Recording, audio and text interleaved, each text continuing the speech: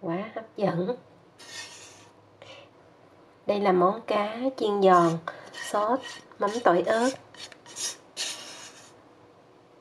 Và nếu như anh chị em và các bạn muốn làm món cơm thường ngày với món cá thì hôm nay Vân Quyên chia sẻ món ăn này nha. Và bây giờ mình sẽ bắt đầu. Cá này là cá đông đá cái này là một bao 5 con và mỗi con là 400 gram. Đây, con cá nó như thế này và nó đang còn đông đá. Bởi vì là cá này là cá đông đá, do đó mình sẽ chờ cho nó mềm một chút xíu rồi sau đó mình đi rửa. Và hôm trước mình khuyên đã chia sẻ cách rửa cho cá không tanh rồi tức là mình sẽ mở cái bụng ra nè, rồi lấy bỏ đây cái mang. Mang cá này chút mình cắt mình bỏ. Cá thì rửa với muối hoặc là với muối giấm giấm muối cũng được hoặc là với rượu và gừng cũng được luôn miễn sao cho khử được cái mùi. Và đặc biệt là nhớ trong ruột mình sẽ mở ra sau đó mình cạo đi cái phần đen này. Có thể sử dụng dao mình cạo cũng được hoặc là sử dụng cái miếng ờ, cái miếng mà để mình rửa nồi đó. Cái miếng nó có cái ờ, gọi là cái xù xù ra không biết cái đó gọi là cái gì ta? À, cái bùi nhồi đó mình có thể mình rửa cái đó cho nó nhanh, hoặc là mình cũng có thể sử dụng cái bàn chải đánh răng cũng được mà, bàn chải sạch đó sau đó mình đánh cho nó sạch ở trong đây ra, đến khi mà nó không còn cái màng này nữa. Rồi bây giờ chờ chút xíu nữa mình khuyên sẽ quay lại sau khi rửa sạch cái này nha.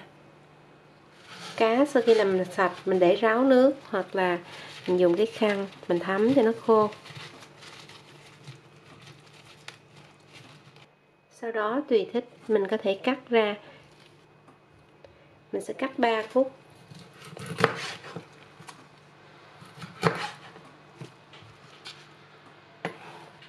Hoặc là tùy thích, mình có thể cắt bao nhiêu cũng được.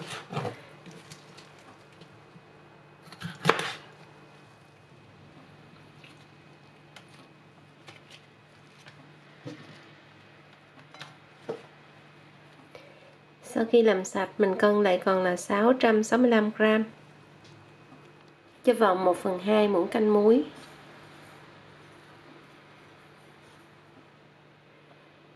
Mình cân được là 9 gram. Và mình khuyên cũng muốn nhắc luôn là ở những nơi mà anh chị em và các bạn sử dụng muối biển hoặc là muối ướt đó, thì khi mà mình múc vô cái muỗng này thì nó sẽ mặn hơn là cái muối mà mình khuyên sử dụng. Bởi vì mình khuyên sử dụng muối mỏ là ở đây chỉ có muối mỏ thôi.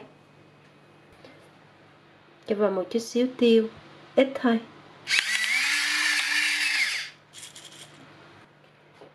Và 1 phần 2 muỗng canh nước mắm. Là 1 teaspoon nước mắm đó. Sau đó thì mình sẽ ướp ở đây trong vòng 5 hoặc là 10 phút tiếp theo mình sẽ xay hoặc là bằm, xả tỏi ớt. Sử dụng cối 4 lưỡi dao mình xay cho nhanh. Ớt thì tùy thích cho bao nhiêu cũng được, đây là ớt không cay. Một khiên cho nhiều. Nó cay hơi the the thôi. Hai thép tỏi 9 gram hoặc là 10 gram. Một củ hành nhỏ 15 gram. 5 gram gừng. Sau đó thì mình xay. Rất là nhanh, mình chỉ cần nhấp thả vài lần là được.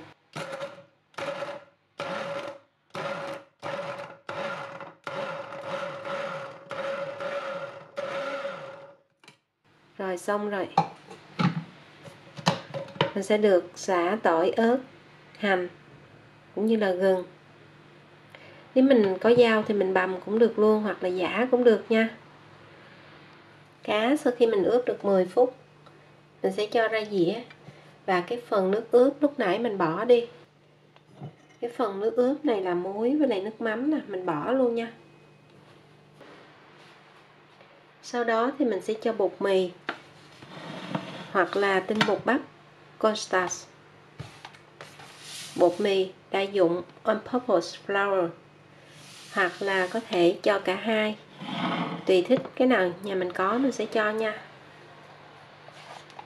Và thường là khi mình cho bột bắp đó, cái phần cá mình chiên nó sẽ giòn, do đó mình ưu tiên mình cho bột bắp nếu như có.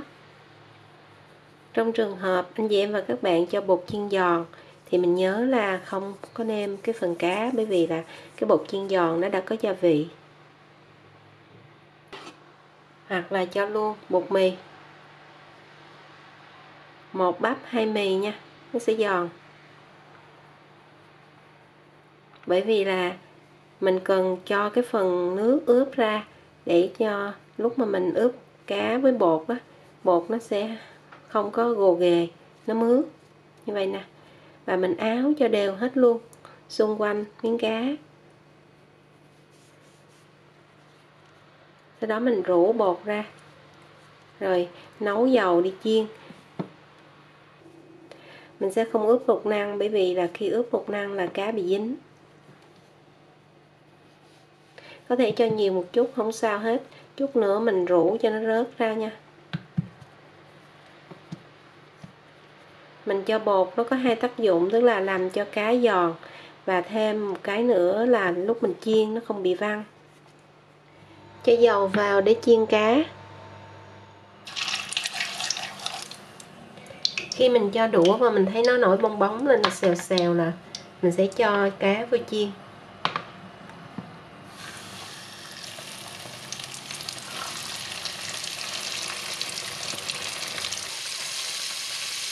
Và mình sẽ chờ cho đến khi mà cá nó vàng một mặt bên dưới thì mình mới lật trở lại. Bếp mình để số 8 tức là bếp có 9 số. Và sau khi mình cho cá vô hết rồi, mình sẽ tăng lên. Mình để số 9 lại. Mình hạ, bởi vì lúc nãy là cái chảo nó còn nóng đó. Nếu như mà mình để nó nóng quá thì dễ cháy. Rồi bây giờ tăng lên nè. Khi mình nhìn thấy cá vàng thì mình mới lật lại. Chưa vàng thì chưa lật.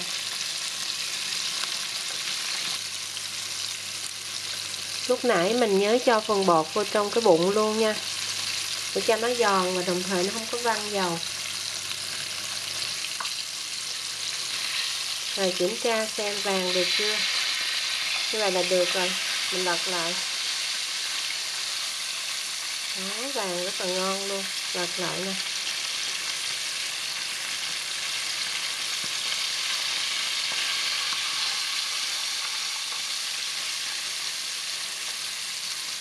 Muốn cho cá nó mở cái bụng nó ra đó, là mình để nó lên như vậy nè, cái mình chiên, thì nó sẽ mở ra. Lúc mà chưa cái chiên bên kia. Bây giờ thì được rồi. Mình để đứng lên, cho nó vàng cả bên dưới của cá luôn. Và cho ra đĩa. Màu sắc hấp dẫn. Vàng, giòn.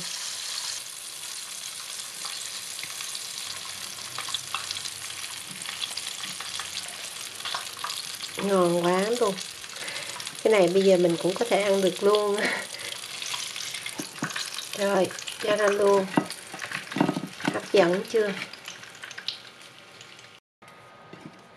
Sau khi mình chiên xong rồi, sẽ đi làm sốt để cho lên nè.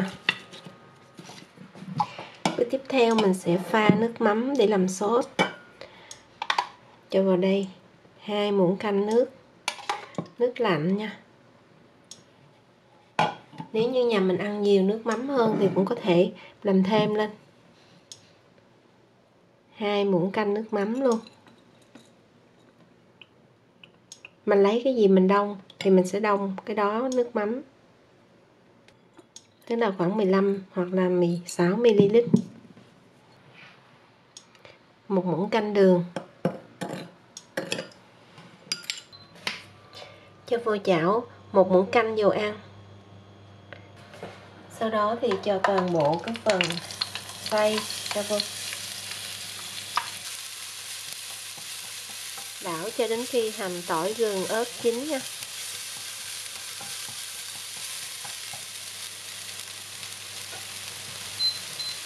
Sau đó thì để lửa trung bình. Mình sẽ cho cái phần nước lúc nãy mình pha vô.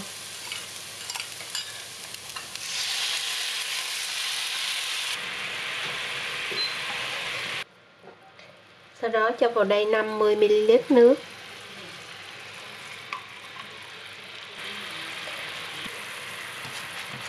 Và mình sẽ nấu cho nó sệt xuống một chút xíu.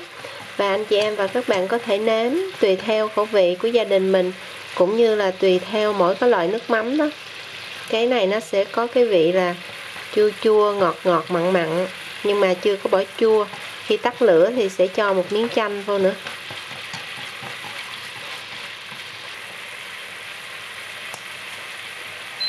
Bây giờ mình nhìn vào, mình thấy sệt đó để cho vào 1 phần 2 muỗng cà phê nước cốt chanh. Rồi, xong luôn. Và hạ nhỏ lửa xuống. Mình sẽ cho cá vô.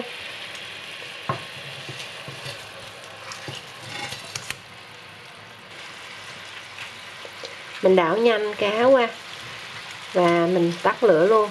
Bởi vì là nếu mình để lâu quá là nó mất đi cái độ giòn.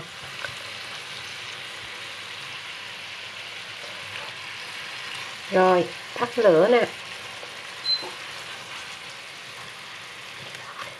Bây giờ mình sẽ đi cắt ngò với hành mình cho vô nữa. Trước tiên là hành.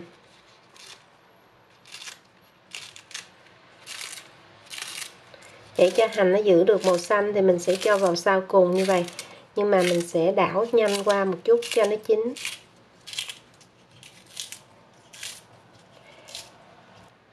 Và nếu như mà thích ớt thì anh chị em và các bạn có thể cho ớt thêm nữa sau khi mình cho ra dĩa nha. Rồi bây giờ cho ra dĩa nha. Chín rồi đó. Và cá nó vẫn giữ được cái phần giòn và màu đẹp và món ăn của mình đã hoàn thành. Cá chiên giòn, sốt, nước mắm, tỏi ớt. Và mình khuyên chúc anh chị em và các bạn làm thành công món ăn này nha. Cho gia đình của mình để mà ăn cơm nè. Và bây giờ xin chào tạm biệt. Hẹn gặp lại ở video kỳ tới. Hấp dẫn chưa? Và phía bên trên mình cho cái phần sốt chanh tỏi ớt, nước mắm này lên nữa.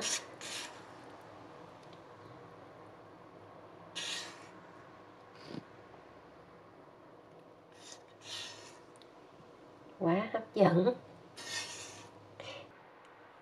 Phía bên trên mình sẽ cho ngò, cắt thật là nhuyễn nữa.